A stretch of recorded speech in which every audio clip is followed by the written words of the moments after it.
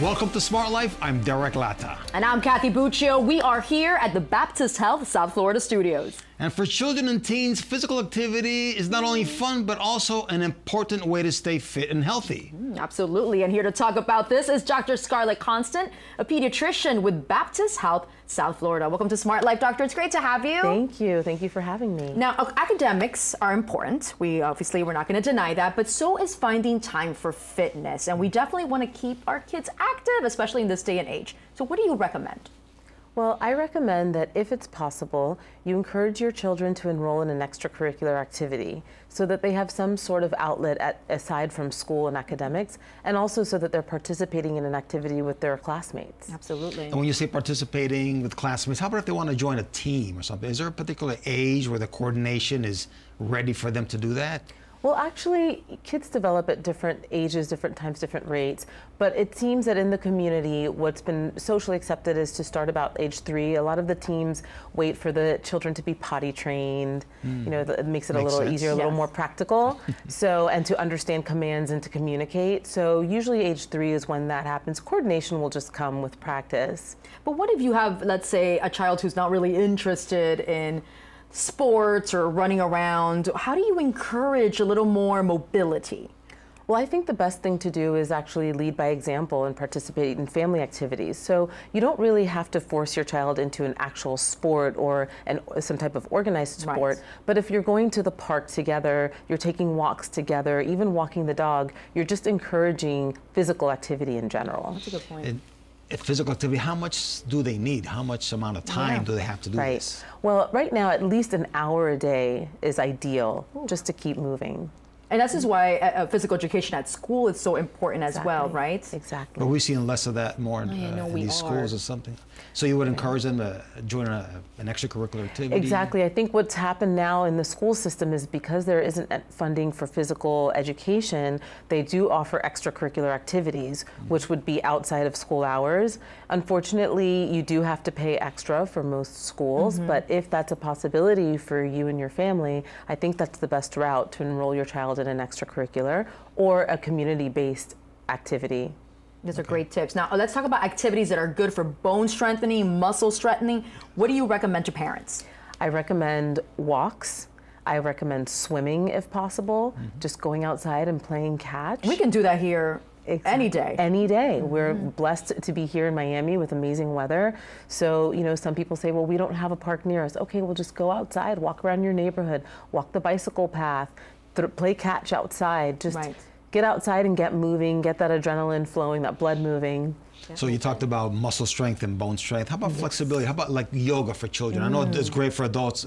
Is it good for children? It's uh, amazing for children. Stretching and and you know it's a really a good form of discipline for them as well. It's a form of medica- meditation. So right. to stretch and to use your strength, absolutely yoga and stretching are, are great. You were actually going to say medication there, yeah, but you know what? Which is actually true. Absolutely. Especially since our children are more stressed out these days. Exactly. Yoga might be a great benefit. Exactly. Yep. Yes. Okay. It's good for mental health. You know, kids are very stressed out as you pointed out, and it's really a good release for them. It's a good place for them to just kind of outlet all of their stress and anxiety. So I highly encourage it for mental wellness.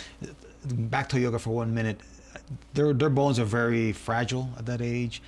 Is it yoga experts that deal nothing with but the children are expert yes. for children versus adults so yes. kind of look for yoga instructors exactly now there's yoga for kids there's mommy and me yoga actually the mommy and me gyms and um, places like that that offer activities offer a lot of classes that where the parents can participate with their children and mm-hmm. show them again i think the best thing to do as a family is to lead by right. example absolutely now we live in a very techy world mm-hmm. our kids are on tablets even even school now instead of textbooks you know that we used to now the kids are required to have an ipad iPad or right. a tablet so they can upload their homework. So, do you find it to be a challenge speaking to parents as to, hey, they cannot be on the tablet. We need to get them outside. We need to do a little physical activity as well. Yes.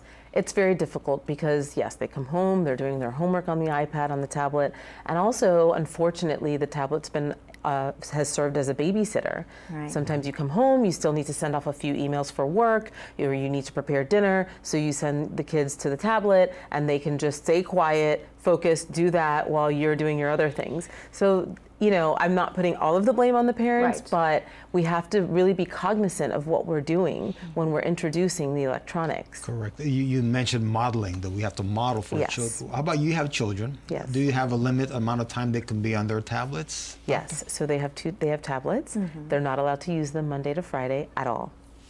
Period. Period. Wow.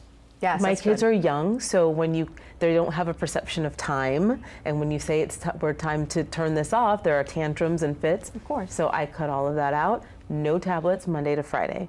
On the weekends they're allowed to. The tablets have a ti have a they have like those A self-timer parental- where they can turn it off as well, too. Right. So two hours per day. Per day. Okay, that's good though. That's fair. Yeah.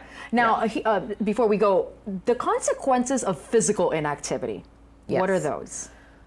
Those, well, we can talk about those for hours. Aside from, you know, the, the consequences of a sedentary lifestyle, which is weight gain, Right. inactivity, fatigue, um, starting to feel a little bit of laziness, but also just mental health.